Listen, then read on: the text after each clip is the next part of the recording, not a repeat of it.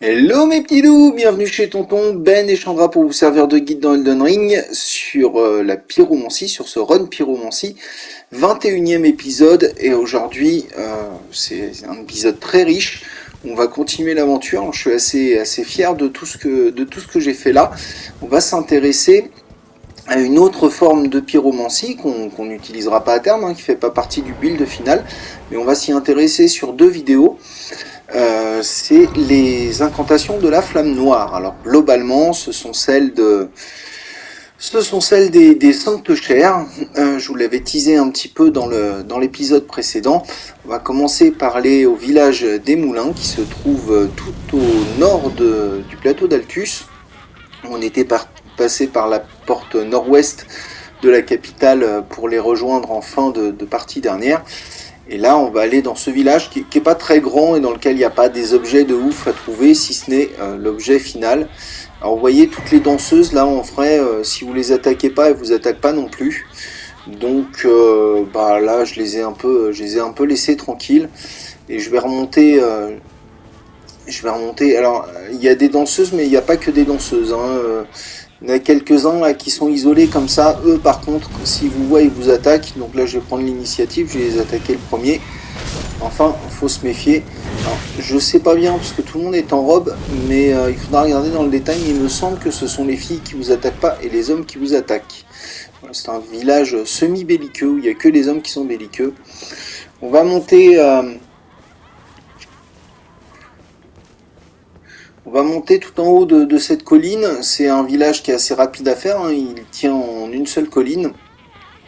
Et, euh, et, en haut de cette colline, on va affronter ben, un boss, un sanctochère, sur lequel on va aller récupérer un sort. De toute manière, le programme de la vidéo, c'est ça. Ça va être riche en aventure, mais on va globalement aller chercher tout ce qu'il faut pour euh, jouer un petit peu avec les sorts de la flamme noire. Euh, tout, tient en 25 minutes, il n'y en, a pas, il y en a pas 50 des, des sorts. Euh, on les aura pas tous, hein, parce que euh, il y en a 2-3 qui sont à récupérer sur, sur la fin du jeu, les, plus puissants d'entre eux. Enfin, vu qu'on a déjà le vu qu'on a déjà le saut adapté et que on a déjà avait déjà récupéré, enfin en tout cas débloqué la possibilité de récupérer deux sorts, on va aller en, en chercher deux de plus. On va les tester, on va regarder ce que ça donne, on va regarder comment ça fonctionne. Euh, D'ailleurs, je vais vous faire aussi la petite démonstration qui va nous servir pour, euh, ce, pour notre build, pour notre build normal. Je vous explique un petit truc au passage sur mon histoire de, sur mon histoire de double saut. Euh, et de là, euh, la prochaine fois, on ira visiter le, le manoir de, de, Caria. Enfin, on ira rusher le manoir de Caria pour attendre euh, les trois sœurs, enchaîner sur la quête de, de Rani et euh, derrière aller euh, affronter un, un, autre boss, Radan, et descendre dans les, descendre dans les sous-sols et dans la vieille cité pour aller récupérer quelques objets. Par principe, je vous ai quand même laissé la visite du village.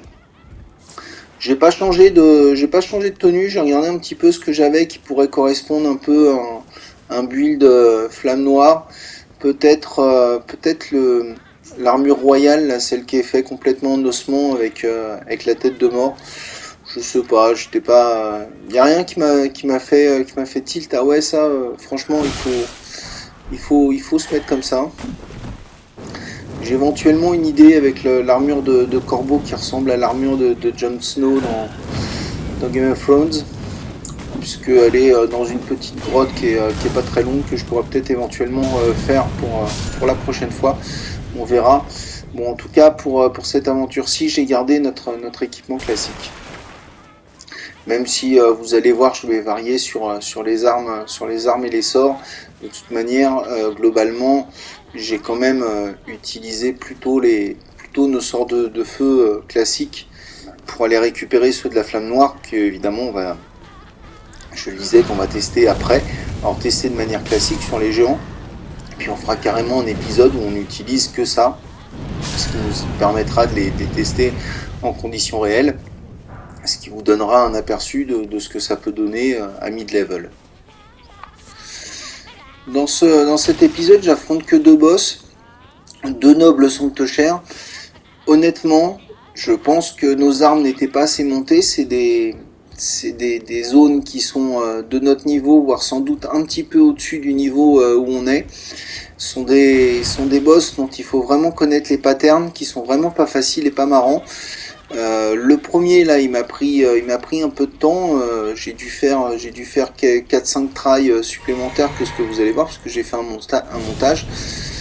par contre, le, suivant dans, le manoir, j'ai fait un raccourci, mais alors ça m'a pris une heure et, et, une dizaine, enfin plus, du, des dizaines plutôt de, de tries. Des dizaines, j'exagère peut-être un peu, mais ça m'a pris vraiment beaucoup de beaucoup de tries. En plus, à chaque fois, on est loin, il faut se retaper le chemin. Euh, c'était hyper relou. J'ai fait un premier essai euh, vraiment à la flamme euh, pour voir si on lui faisait des dégâts. Il a l'air, déjà il les esquive et puis en plus l'apôtre, c'est un apôtre sancte-cher ça. On va affronter l'apôtre et le noble. Il y a deux types de, deux types de boss. Les dégâts de feu, il doit être un peu résistant aux dégâts de feu parce qu'on lui faisait vraiment pas grand chose. Donc on va se, se porter à l'effigie, pas au feu de camp, parce que sinon ça nous oblige à remonter toute la colline. Et on va aller se le faire de manière détournée, ce qu'on fait quand, euh, les boss sont résistants euh, au feu, on a deux solutions. Je vais même, je vais même me buffer euh, un peu exceptionnellement avec, la rune majeure de Godric.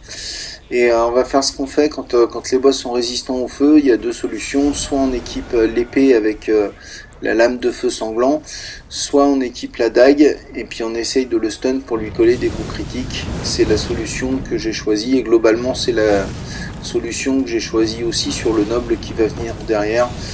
Vous allez voir ça. Mais le noble, le noble il était, il était costaud. J'ai fini par utiliser un petit peu tout ce que je pouvais utiliser pour le tuer. Alors là, je ne le montre pas dans, cette vidéo, on va récupérer leurs armes et franchement, leurs armes sont, euh, hyper sympas euh, à l'un comme à l'autre. Notamment euh, celle-ci, l'espèce de mélange entre une épée et une faux là, que vous faites quand, quand, vous faites son attaque, son attaque spéciale, vous la faites tourner au-dessus de votre tête pour faire des, dégâts de zone. C'est assez stylé franchement. Vous la faites tourner comme ça, mais au-dessus de votre tête, au lieu de la faire tourner devant vous. J'aime assez, franchement. J'ai l'impression de faire l'hélicoptère, évidemment, mais...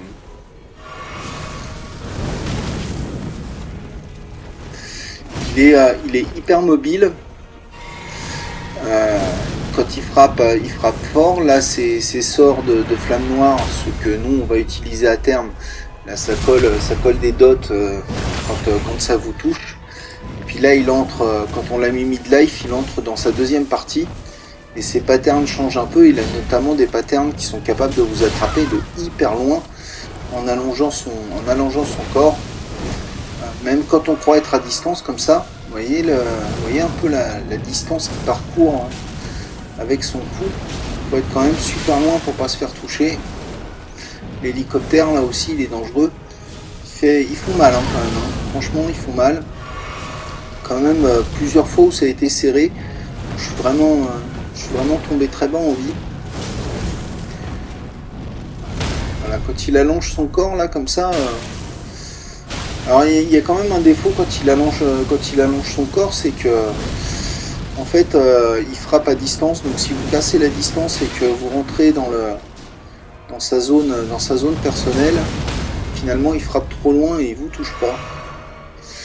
Là, là je les stun, mais plutôt que de me précipiter dessus, même s'il lui reste pas beaucoup de vie, j'ai préféré reprendre une potion, mais toujours dans le même débat que d'habitude, faire attention à, ne pas... Euh, là, vous voyez, ça a failli me coûter cher en fait, hein. j'ai voulu aller le finir, et euh, j'ai raté mon coup critique, et si j'avais pas rebu euh, ma potion, je, je serais je serais mort. En plus, des potions, euh, des potions de vie, j'en ai plus. Donc là, il, va, il faut vraiment pas que je le rate sur le dernier coup. Et un petit coup de flamme qui nous permet de, qui nous permet de le terminer. Donc on va récupérer évidemment son arme et puis on va surtout récupérer le fouet qui est, euh, qui est, je vous spoil un peu, mais qui est vraiment une, un sort qui m'a beaucoup plu. Euh, le fouet, tout comme, tout comme la boule de feu. Les autres sorts, je les ai honnêtement trouvés moins ouf. De toute manière, on va regarder ça, on va regarder ça un peu plus tard. Donc on débloque la grâce. J'ai visité un peu les, moulins et ce qu'il y avait autour, mais il n'y avait pas d'objet majeur, donc, donc je supprime la vidéo. J'ai supprimé cette partie-là. Souvenez-vous quand on était dans Volorage, sur cette place là où il y a tous les, les archers avec des lance-flammes, alors pas de ce côté-là, mais de l'autre côté, sur, euh, en, sortant et en allant tout de suite à droite, il y a un espèce de soupirail là qui qu'on voit pas qu'on voit pas bien, qui est un peu planqué, par lequel on peut passer. Et là-dedans, on avait le bréviaire de le bréviaire de Déicide, qui est le, le nom euh, le nom sophistiqué des, des, sorts de la flamme noire. Et on avait euh, tiens, vous avez une petite démonstration du fouet puisque je l'avais sur moi au moment où au moment où je suis allé vous montrer le vous montrer l'endroit. Et euh, c'est ici qu'on a trouvé le, bréviaire et, euh, le seau. Euh, le, seau qu'on va, va rééquiper plus tard et le bréviaire qui nous a permis de, nous a permis de débloquer deux sorts. Alors deux sorts que je n'ai pas mais qu'on va aller chercher. Parce que quand vous récupérez un bréviaire, il faut les donner à un maître, un maître de, de, foi. Et il y, y, en a un qui est très bien pour ça, c'est à l'église des Vœux en Lurnia c'est euh, Myriel, la tortue, parce qu'elle a une particularité. Alors cette espèce de tortue la déguisée en pape, ce personnage un petit peu euh, assez charismatique, un petit peu particulier d'Elden Ring, euh, il est capable de, il ou elle, on ne sait pas trop, est capable de vous apprendre les sorts de, de, magie et, et de foi si vous lui donnez soit des parchemins, soit des bréviaires. Euh, et, en fait, il y a un intérêt à lui donner à lui plutôt qu'à un autre maître, c'est que c'est un des rares PNJ qui ne bouge pas du début à la fin de, l'endroit.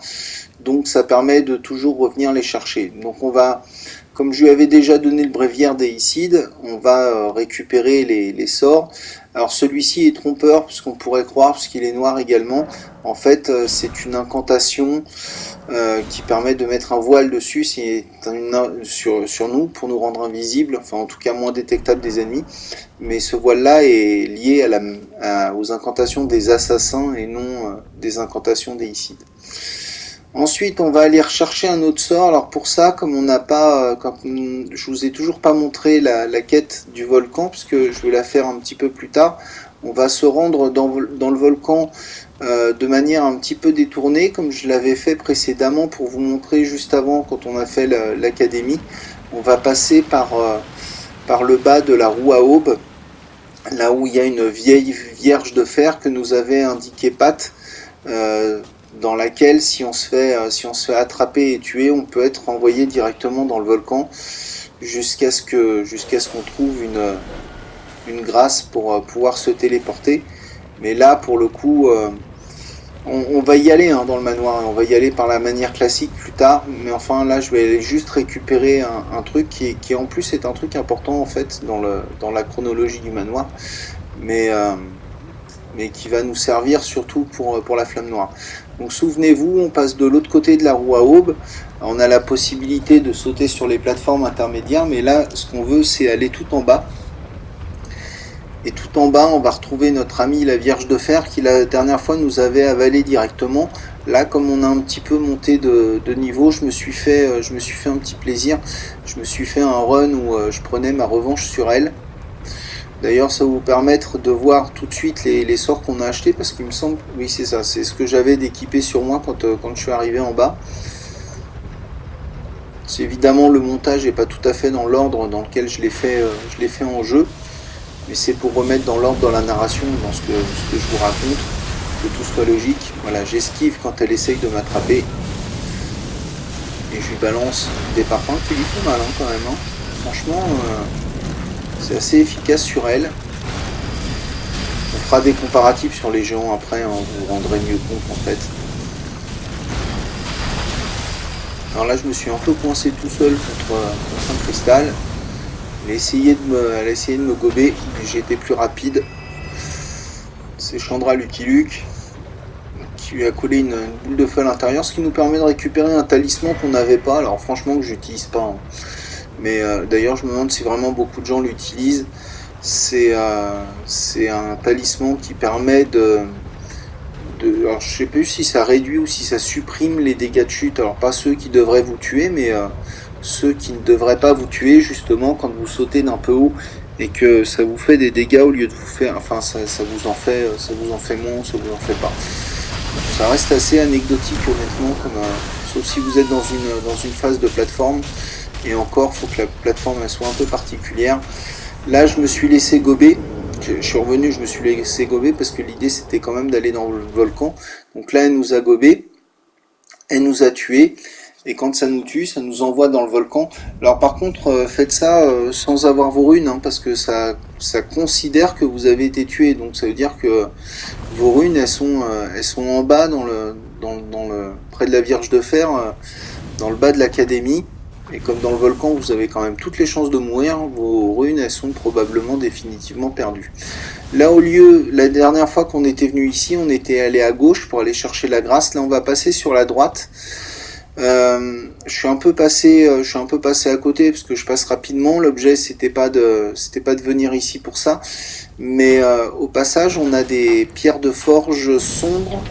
Je crois qu'ici il y a la 5, la 7, la 5, la 6 et la 8, quelque chose comme ça.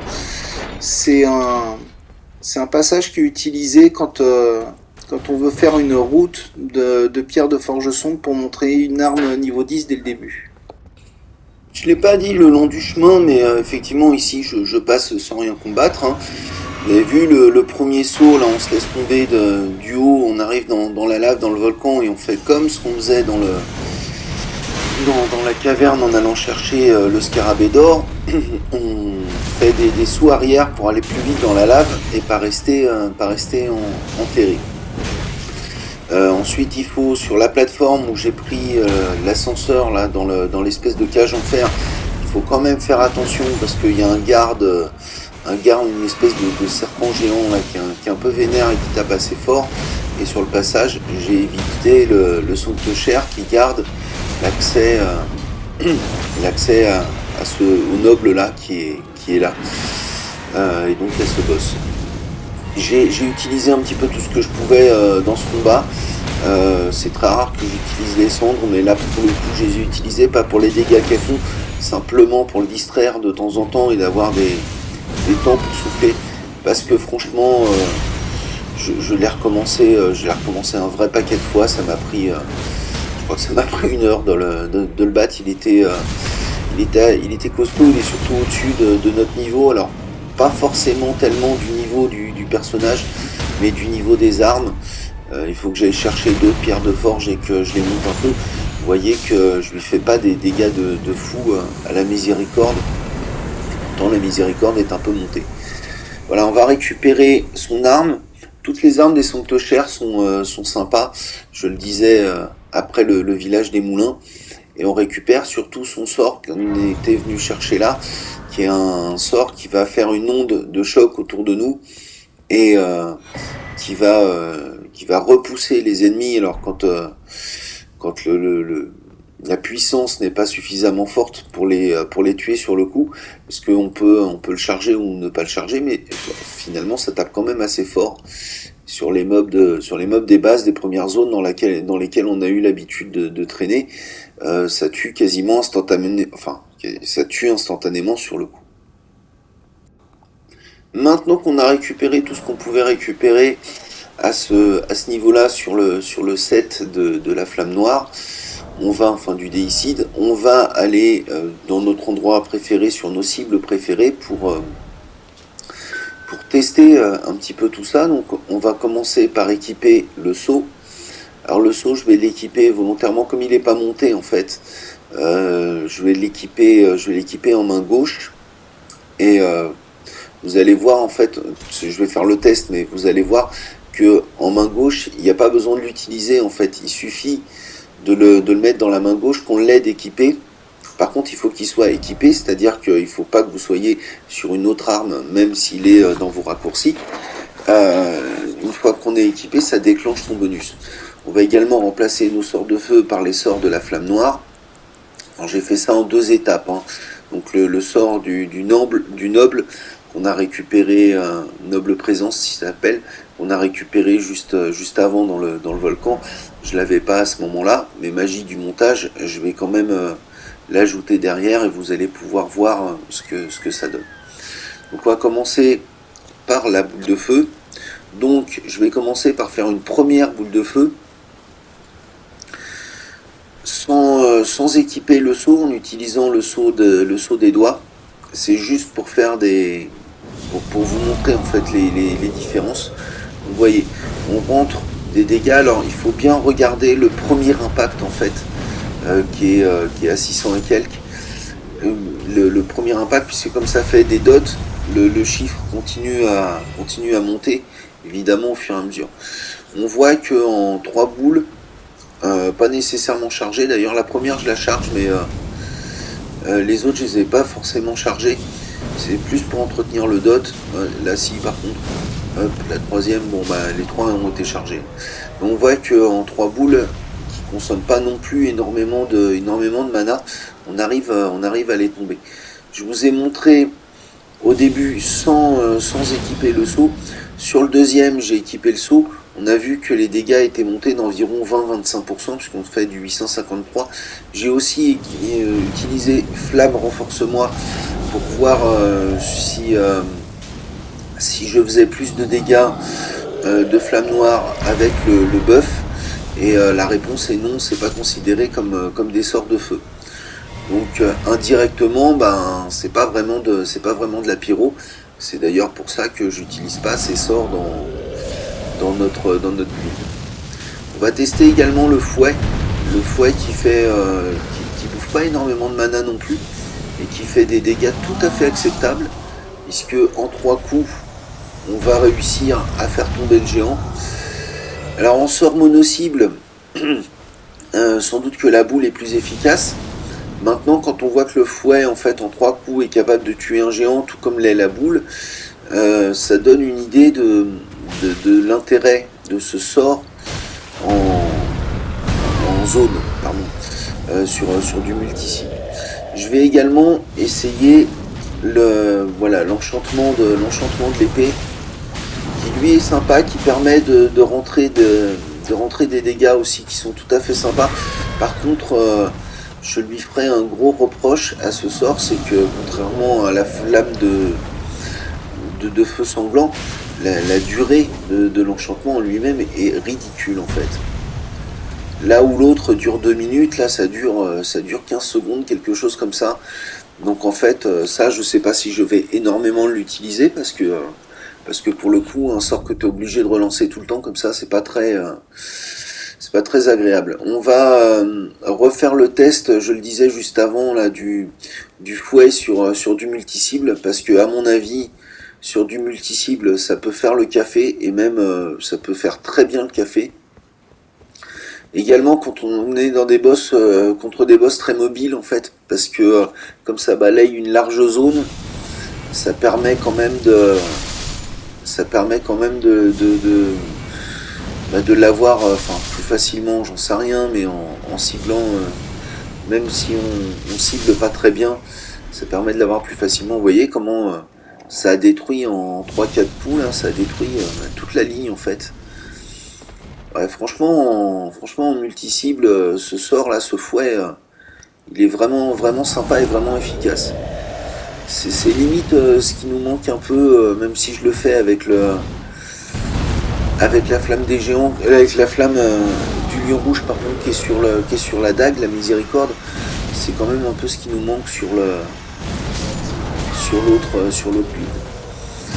Euh, là j'ai utilisé le j'ai utilisé donc le, sort qu'on est allé chercher sur euh, la noble présence là. Alors évidemment sur les géants ça rentre des dégâts, après ça, a peu de ça peu d'intérêt, c'est des géants donc ça les repousse pas, quoique là il allait me mettre un coup, mais ça l'a repoussé quand même. Donc le, sort peut se lancer ou se charger. Maintenant honnêtement il se lance quand même assez vite et le temps de charge n'est pas très long pour des dégâts qui sont, euh, qui sont corrects. On va aller également, le, on va retourner le, tester en, en là sur le, groupe de, zombies puisque c'est un peu plus euh, c'est un peu plus cohérent de faire ça sur, euh, sur un groupe. Bon, je vous avoue que j'ai été moins. Alors, je restais évidemment sur le sur le fouet, donc le fouet m'a vraiment, j'ai vraiment été séduit par ce sort.